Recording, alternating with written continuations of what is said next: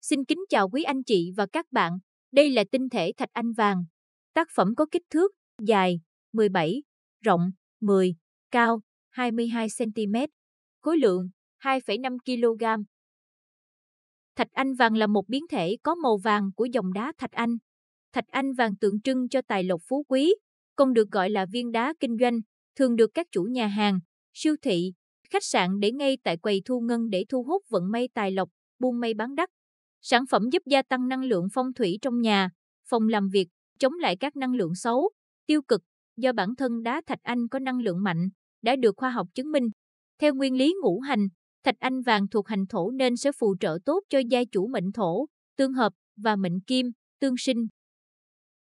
Để biết thêm thông tin về giá sản phẩm, quý anh chị vui lòng truy cập link về website Ngọc Thạch Thảo bên dưới phần mô tả.